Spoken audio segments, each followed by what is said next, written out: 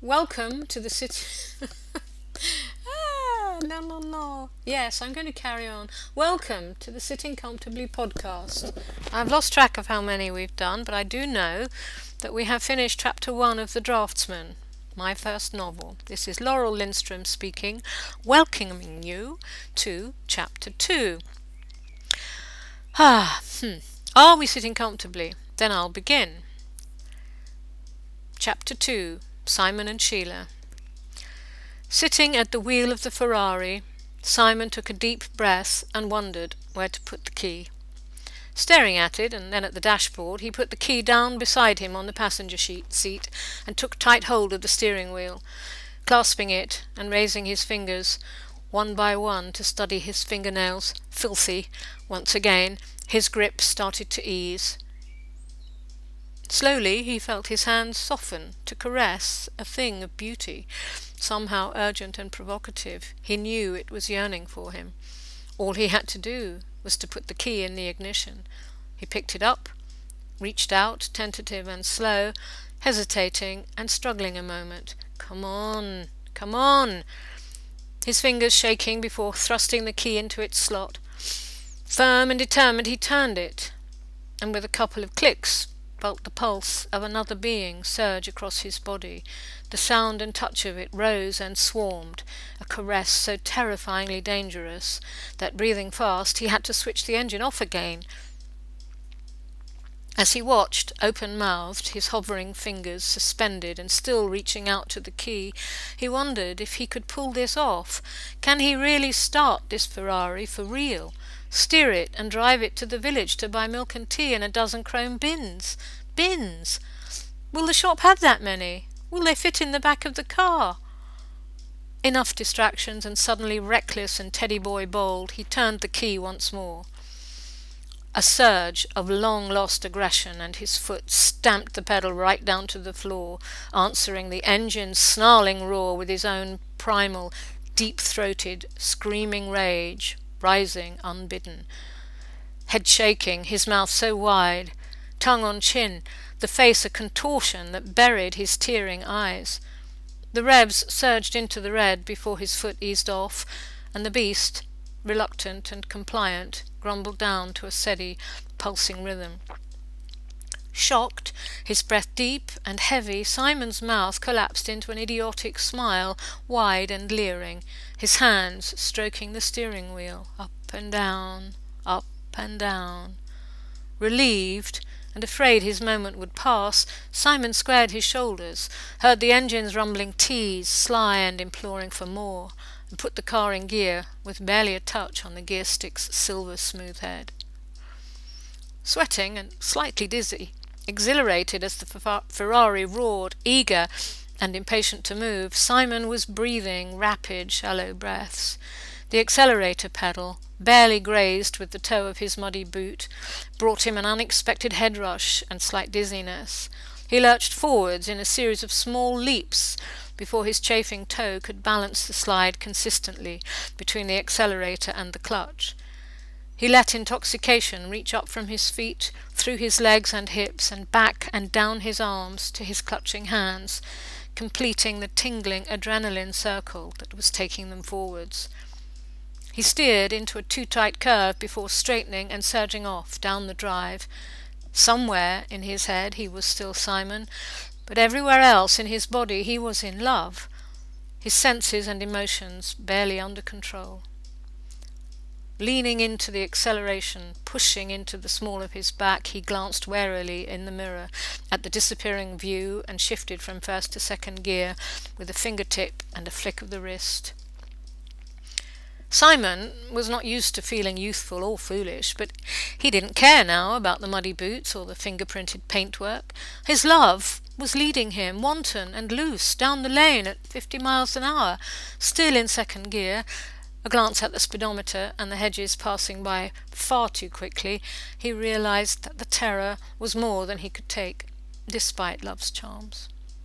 His guilty moment had been fleeting, an echo of someone long since gone, even though there had been no such person in his life, not even the idea of one. He'll be wanting a kettle, too, he mused, as he reverted to his usual meandering driving style. Not normally stuck in second gear, Simon's driving style was suited to his inclination to flatten any wayward pheasant or pigeon or even mouse foolish enough to amble onto the road, so he rarely kept a steady line. But this habitual entertainment could be problematic for this particular journey, so he kept straight and hoped nothing would stray into his path. The mess would probably be a lot and hard to hide, it might even make a dent. Approaching his cottage some half mile up the lane, Simon cavalier with an arm draped roguish and wanton across the back, back of the passenger seat, pulled up with a sharp little screech and hit the horn.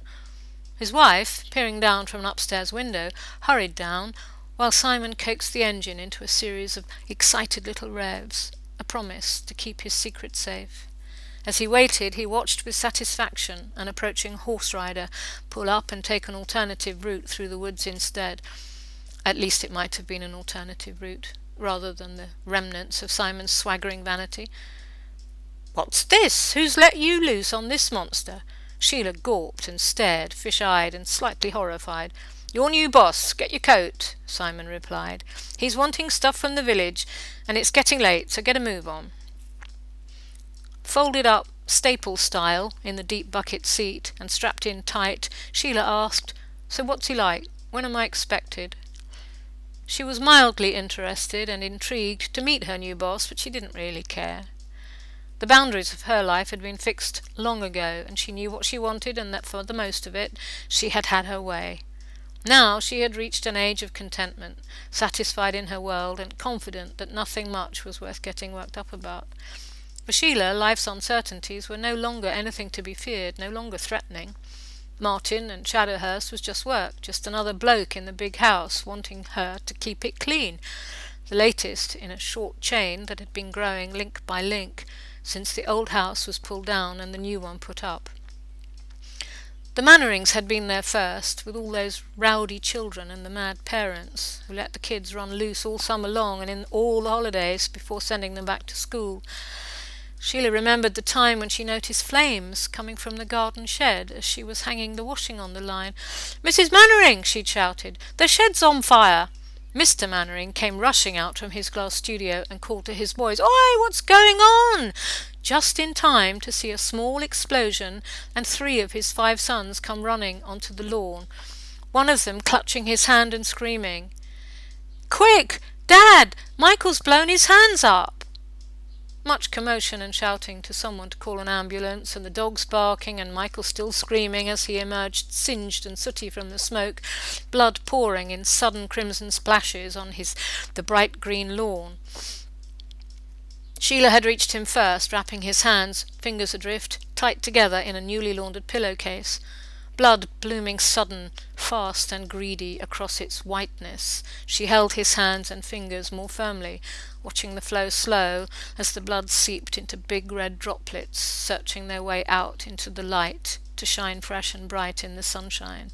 And brave Michael, tipping at the edge of childhood, doing his best not to cry any more, hiccuping and gasping, anxious and staring in horror at the pillar slip, in terror of what what it held, and fearful of what his dad would say about the trashed shed.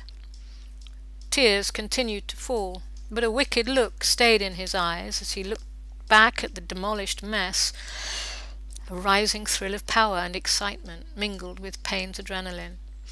Sheila remembered the washing and how she watched the smoke breathing its grubby breath on her clean sheets as she held tight the boy's hands. The linens were already picking up specks of black and grey, shining silhouettes on the sullied white, fluttering in the smoke-smudged air. She remembered the other boys, all breathless and excited, wide-eyed and shocked and impressed, piling into the car with their mum and dad to follow Michael in the ambulance. She remembered later how Mrs. Mannering had still been in shock, and, sipping incessantly at a paint-stained jam jar brimming with warm white wine, could only repeat how boy boys shouldn't try to make their own fireworks, because that, that's a man's job. They just shouldn't, sip sip. They just should leave that to the men, sip sip. Sip sip all the way to bedtime. When Sheila told Simon about it over their tea, he said, One of them boys had it coming, just a question of which one and when, nodding and smug, because neither of his children would have ever done anything so dangerously stupid or shown such reckless imagination.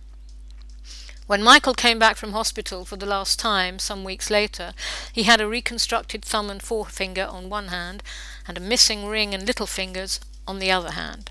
He bounced up to Sheila and said in a squeak and a growl, Could you teach me to knit? Before waggling his bandaged hands in her face. Sheila didn't get the joke and carried on ironing as Michael tiggered his way out into the garden. When the Mannerings moved down to Cornwall to found an artists' collective, she had been glad to see the back of them and their raucous energy. Good riddance, she said. Art wasn't Sheila's thing. At least, not the art you couldn't recognise. Her ideas were simple. No nonsense. Black's black, white's white. And there are no greys.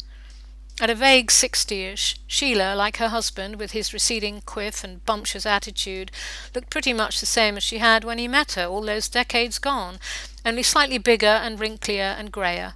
She was still anonymous, secure in a world where nothing had changed much. The 60s, psychedelia and colours in general, had passed her by. The 70s had just been silly, although she did still like to hear some of the music when it came up on the radio of a Saturday. Her clothes were still sensible, plain, and slightly dingy, even when they were new, and always too big, because she liked to be comfy. Her air of resolute, disinterested oldness had always been there, even when she was young.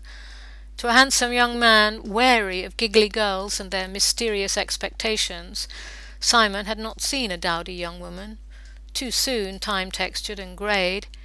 He'd seen someone mature, exotic, and irresistibly sophisticated.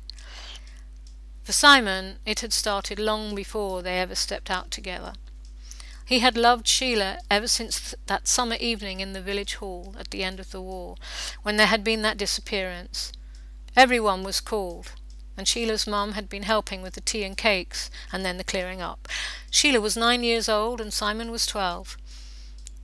We're here to find out if anyone has any information that could help us, the police had said. She and Simon, bored and unable to grasp even slightly what was going on, had hidden together under a trestle table. Peering out from behind the tablecloths, they were untying men's shoelaces and trying to smear the ladies' fake seams without them noticing. In their stealthy mischief, they never spoke, looking out at the sea of shoes and legs, and just knowing what should happen next and doing it. After all the laces within reach were undone, and the pencil seams smudged without anyone noticing, they had wandered out into the soft summer air. They sat eating crumbly dried egg cake on the steps of the village hall, hearing the blurred sounds of anxious discussions, and oblivious to everything beyond their cake, the steps beneath them, the fading sun's gentle embrace, and each other. They married when they were still in their teens, when he first started sporting the Elvis quiff, and the buttons of his shirt were always undone, just that little bit too far. Quite why this preening man had fallen for her, Sheila never really knew, still didn't, even though she remembered that night at the village hall, and how suddenly it had all ended when the people came flooding out and they had to move off with their parents into the chill of dusk to go home.